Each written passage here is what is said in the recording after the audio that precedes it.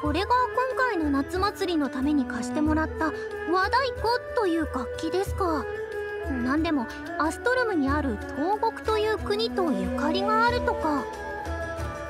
でもでもどうやって鳴らすの？ドラみたくじゃんじゃんってしていいのかな？乱暴に扱ってはダメですよ。おそらくこの小さな棍棒を使うのではないかと思いますが一体どちらが先端なんでしょう？それになぜ2本？予備ですかね？うんこの辺は平和そうだな。やっぱ夏祭りの最中だからか？弱肉強食がモットーの大悪党にふさわしい場所だって聞いてたのに。あちらの方はどうやらアストルムの人のようですよ。ちょうどいいです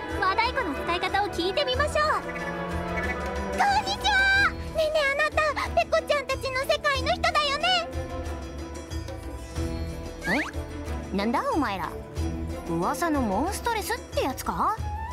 パッと見はウサギとニワトリのビースト族っぽいけど。あれは誰じゃないですはじめまして異国の方。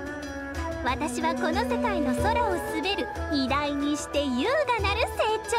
ホー早速ですがあなたにこの楽器の使い方を教える権利を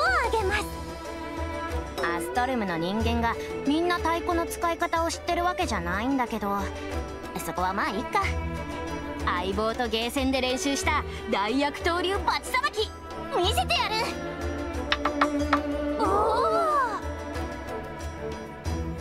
それじゃ派手に行くぞ。ほらほらほら。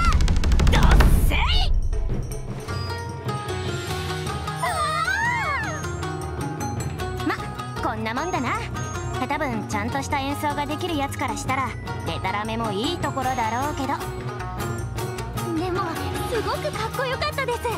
最初に出会えた太鼓の演奏が大悪党流でよかったです。やっぱりジオゲヘナの連中はわかるみたいだな。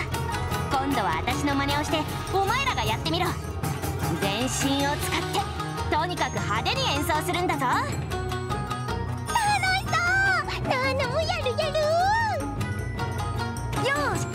ここはお前らに任せた。私は相棒を探しに別の世界に行ってくるからな。大悪党流。バッチリ盛り上げるんだぞ。